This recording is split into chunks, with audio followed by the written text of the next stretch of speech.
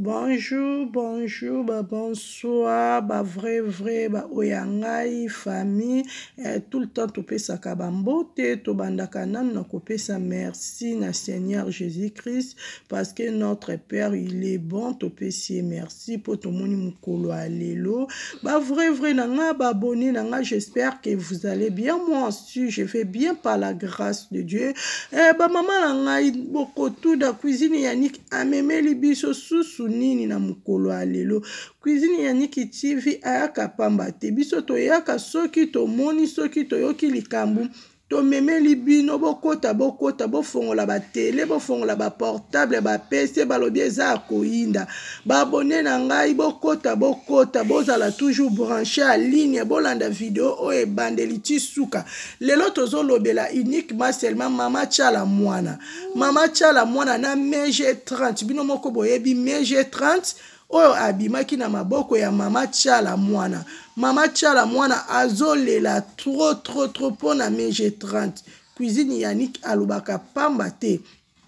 cuisine yannick amemelaka bino na baepreuve bino moko boyebi ke chaine ya cuisine yannick tv chaine ya lumière yango nde makambo balobi verité babombaka yango te verité ata obombi ekotikala toujours verité bokota bokota bokota bokota bavrai vrai bokota bokota bokota balobi eza ya koyinda mama tiala mwana tellement ozolela trop ozolela trop na mai je 30 mais kotala oza na badanseuse bamusicien ebele pourquoi tout le temps ozolela toujours mpo na mai je 30 bosinia part nini eloko nini lien nini eza yo na mai je 30 mama tiala mwana biso tozo comprendre te tolingi mama tiala mwana yo moko okoexplike biso s'il vous plaît mama tiala mwana beaucoup de respect mama ba vrai vrai ba abonné na nga baza na posa ya koyoka mama chala mwana o explique biso pourquoi séparation ya yo na mege 30 epesi yo kimia te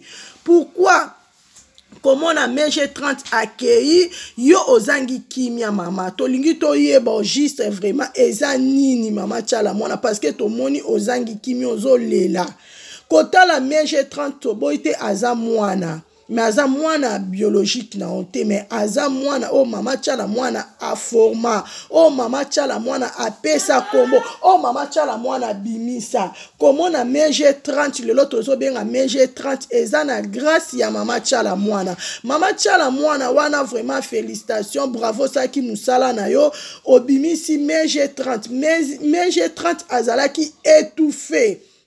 kotala mai g30 azalaki etouffe ere abandaki koyembela nzambe biso toyebaki mai g30 te soki biso lelo baoyo toyebi mai g30 eza grâce ya mama tiala mwana komona mama tiala mwana ndenge ozwaki mai g30 moke ndenge oforme ye ndenge okolisi ye ndenge ofasone ye ndenge osali ye na genre na yo na bagu na opesi ye me mikombo mai g30 mama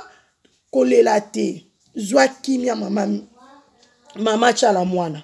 zwa kima kimia mama chala mwana oyo mokili ekoki kopesa te kaka seigneur moto akopesa o kimia wana mama chala mwana zwa vraiment kimia bavrai vrai na ngai babi bombe bombarde bombe bombarde kaka ebeti na matoi ya mama chala mwana pa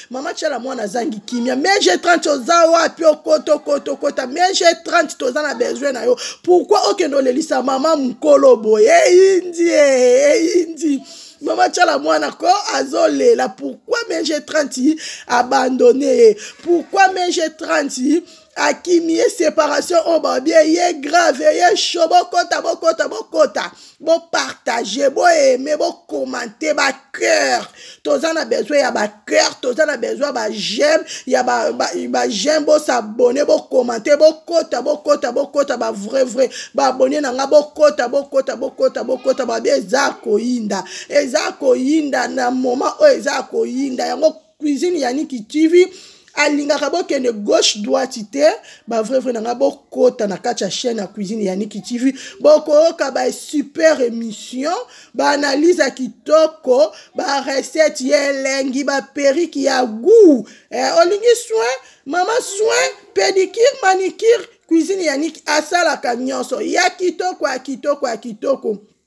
bokota bokota babi eza koyinda eza koyinda émission telme eza kitoko eh, mais je 30 alelisi mama chala mwana telme eza kitoko bino mo bolanda bavrai vrai na ngai babi bokota bokota bolanda bokomante s'il vous plaît bopartage boaime bacoeur tout le temps toa na besoin nango tout le temps cuisine yannick alobaka ke je vous love nalela bino ya trop na priaka mpo na bino naye kopesa bino merci na baoyo balandaka baémission na ngai baoyo balandaka barecette na ngai baoyo balandaka bapédicure bamanicure nasalaka en tout cas merci beaucoup napesi yo merci merci bafrère na nga basere na nga bavrai vrai baabonne na nga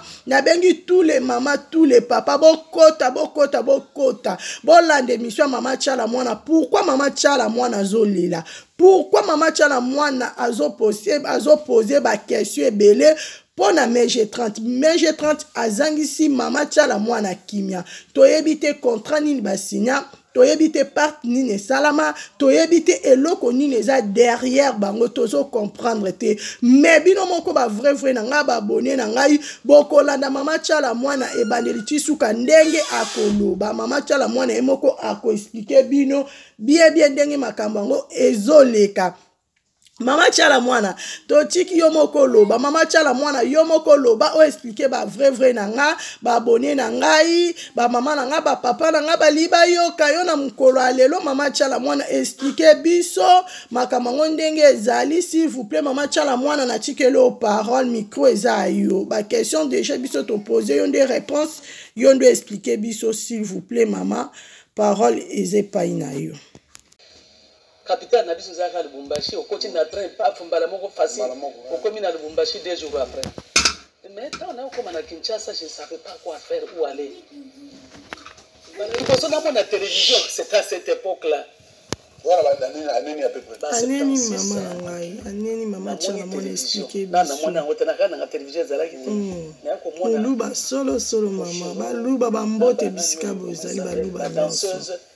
betwa bwe betwa bazopekisaka no kokende te makambo ya soni kokende kosala biloko wana te nabi te ngai fo nameka nakendeki nameki na tente bagroupe ebele mais à cette époque là moto asoutenir oyo aza te moto atali mpe alobeli aza te paf mama mpongolova abimi ntango abimi nayebi e eh, lokola aza mwana mwasi azala na badanseuse te nakende otente chance mm. epe voilà nakei nakomi vere ye bamemi ngai e, andimi ngai atali ngai abikende omona epompolo wai namoni epompo na kasavubu abiavo ah, vraiment tiyo bien tobandi na baninga mosusu nakutaki wana ezinga mhm. tobandi kobina kotravaille mpo na mama pongolo c'était parti comme ça et puis deux ans après naye komona ke pourquoi pas aussi chanter nga nakanisaki soki obandi kaka koyemba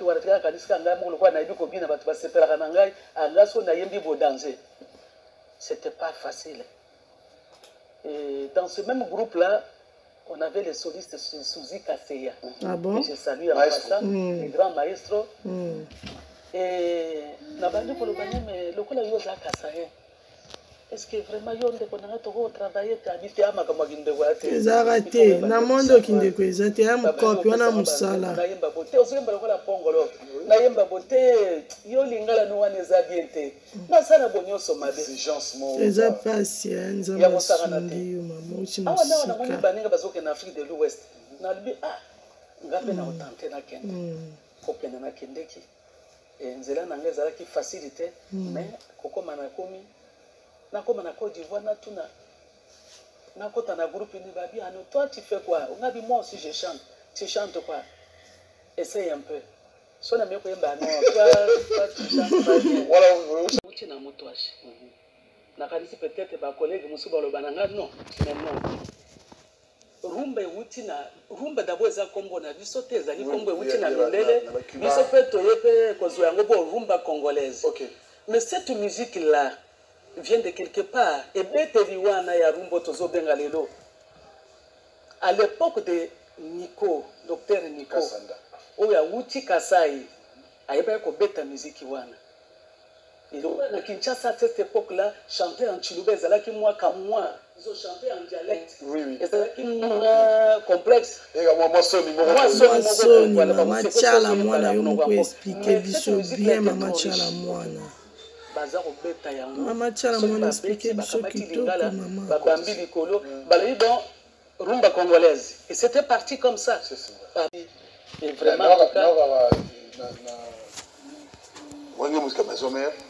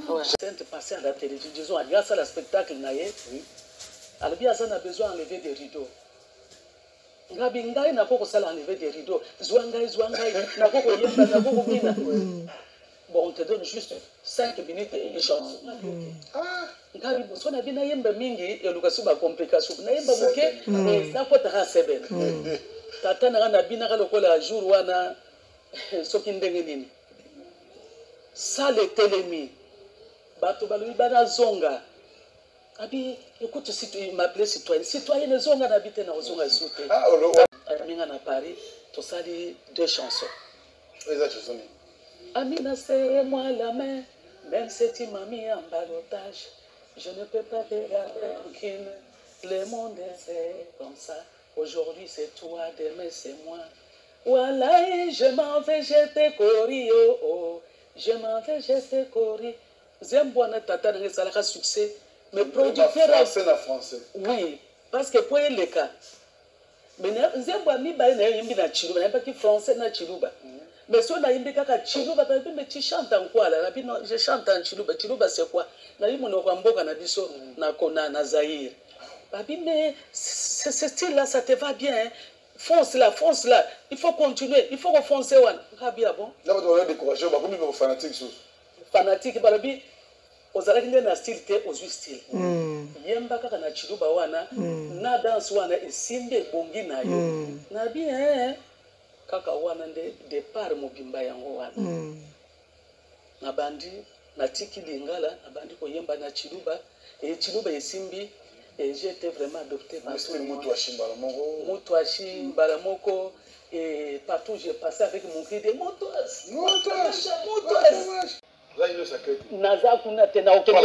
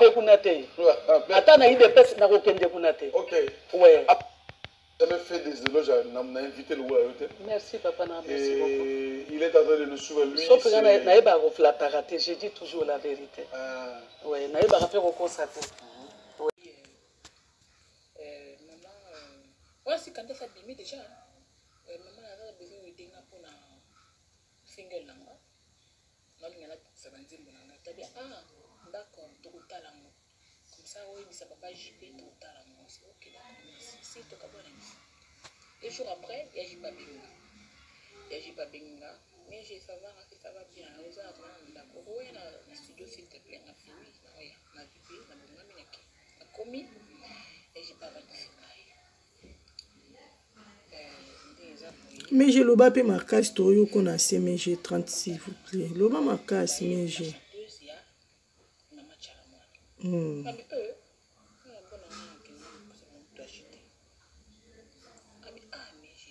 abondela ngai nzalo ya jipe non franchement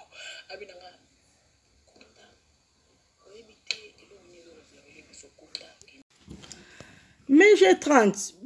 mais je 30 bonjour bonsoir heure ekokutela yo toyebi te tobengi yo na invité na invité na biso na mpokwa na lelo na mokolo ya lelo tobengi mais je 30 pourquoi mais je 30 olelisi mama tiala mwana biso tolingi mais je 30 yo moko eexplike biso nkombo na yo mais je 30 euta wapi nkombo na yo mais je 30 nani apesa yo mais j'ai 30 pourquoi séparation oyo mama chala mwana azangi kimia pourquoi ocontinue toujours na mama chala mwana te pourquoi ocontinue toujours na mama chala mwana te pourquoi séparation oyo epesi mbutu mbutu pourquoi tolingi yo moko explike biso mais j'ai 30 si vous peut explike ba vrai vrai baabonne na ngai ndenge ezali oexplike biso vrai parce que na chaîne ya cuisine ya niki chief tolobaka toujours vrai mais je 30 parole eza epai na yo explike biso toyoka mais je 30 natikeli yo micro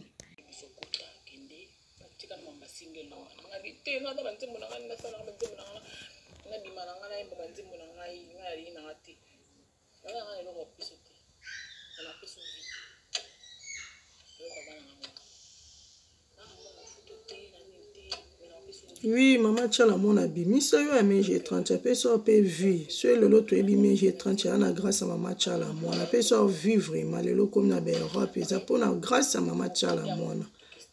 bavrievre bokota bokota babi eyindi boyoka mege 30 azo explike ya wana kende barepetite parce que barepetition ezalaki kaka na aveni na biso biso vanda na coin barepetaka deuxième parcelle après eza pasi ape barepetaka navandi na ngai na ndako naotravaille na ngai nakenda ngai barepetition te naleka na ngai wana etu mais elle elle voulait vraiment que je passe mpe nake yaka mpe na orchestre etu wana donc na studio mpe nayembi nayembi normal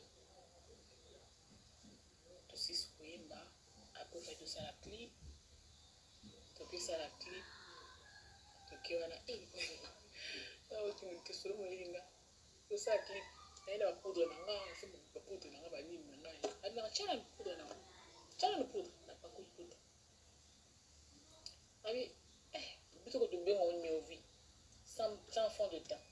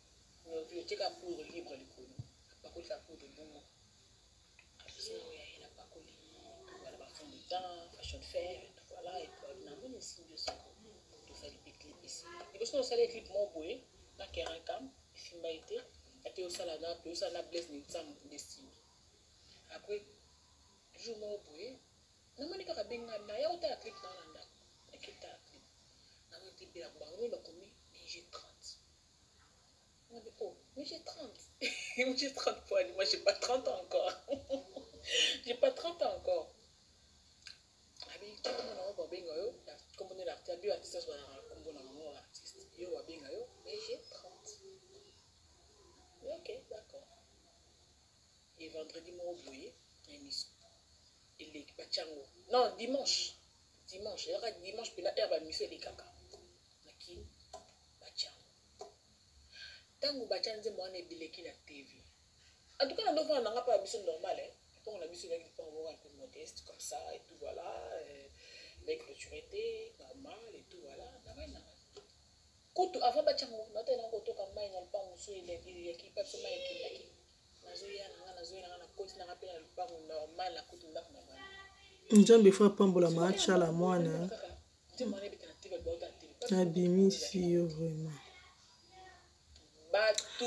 bavrai vrai baabone na ngai moto abongaka kaka na nsima motu motu mpe abebaka kaka na nsima motu lelo soki toyebi mege 30 eza grâce ya mama chala mwana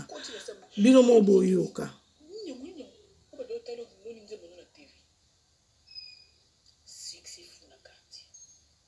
je ne pouvais même plus sortir je ne pouvais même plus sortir ata libanda nasomba ata fufu na ya kolamba nanga nalia rien succès futi mpe na ekolongwa elongoli ngwala nakomi na barobu na bijou ngui nakomi kuna après euh, nayokende ma campagne et tout voilà et puis c'était parti ba vrai vrai baabone na ngai bino moko boyoki émission oyo bokoyoki nyonso boyoki cuisine yannick alobaka na ye toujours vérité babi vérité babombaka yango te 99 jours eza ya motu mais jour moko eza ya seigneur ba vrai vrai na ngai namemelaka bino biloko ba émission eza vrai nalingaka bokota parci parla te bokota kaka na chaîne ya cuisine ya niki tv chaîne ya cuisine tv nde makambo ya bino moko boyebi toza wana mpo na bino soki toyoki mbutumbutu toza wana tozwi baimage tozweli bino toyeli bino toujours nalobaka bozala branche bozala ligne mpo bino moko boyeba kwa information tout le temps eza biso toza na tozotiela bino bokota bokota bolandi toujours émission ya mama tiala mwana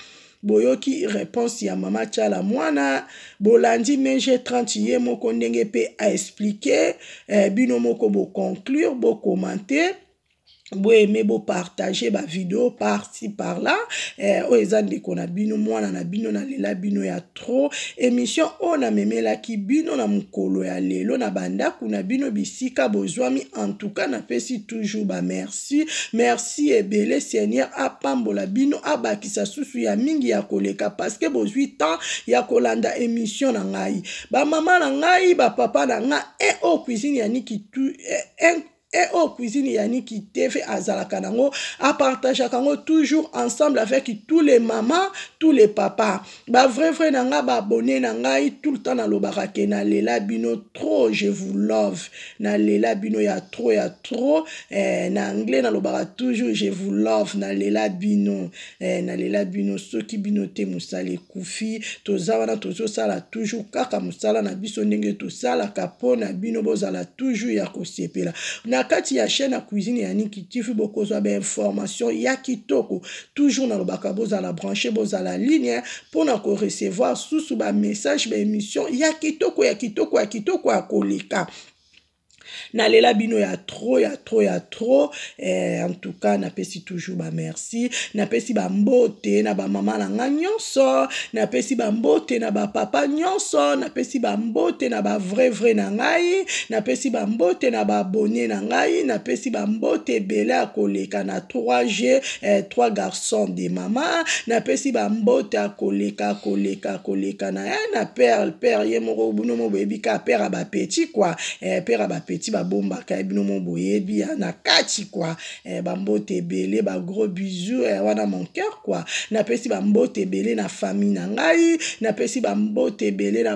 bafai na ngai eh, oyo balingaka cuisine yaniki tu va avancer oyo bapesaka nga conseil par par-ci par-là, oyo oh, bapriaka mpo na chaîne ya cuisine ya Niki TV, oyo oh, basalaka toujours ba bien quoi eh, mpo cuisine ya Niki TV avance, oyo oh, baopriye baofortifie nga na tous les domaines. En tout cas, ba merci ebele balobi fo kondima moninga r oza na bomoi cuisine ya Niki acomprana andimaka baoyo nyonso basalelaka ye ba bien meme osalelaka nga mabe soki olingi nga te tampia soki olingaka chaîne ya cuisine ya niki tv gloire à dieu napesi toujours bamerci parce que nzambe ndenge asala mokili na ye basala kaka te bato nyonso tu balingo nayebi ke bato mosusu balingaka na bango nga mpe te bato mosusu balingaka nga me cuisine ya niki tv olinga nga te olinga nga nalingaka bino nyonso parceke toza bana notre père napriaka mpo na bino tu nalela bino ya tro ya tro ya tro bavrai vrai na ngai eh, émission na biso ekomi na suka tout le temps nalobaka ke dieu vous bénisse ke dieu vous bénisse à la prochaine bye bye bye